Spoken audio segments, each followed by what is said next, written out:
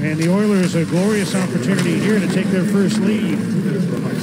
Four on three power play. Here's McDavid. Draisaitl shoots, he scores. Just like that, the Oilers cash in with a man advantage.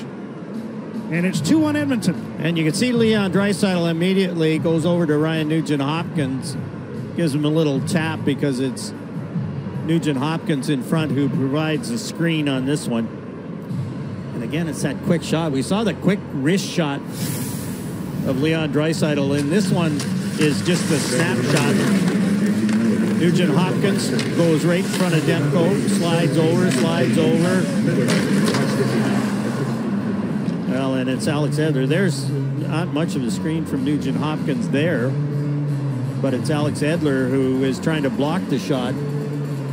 Goes by Edler and by Thatcher Demko.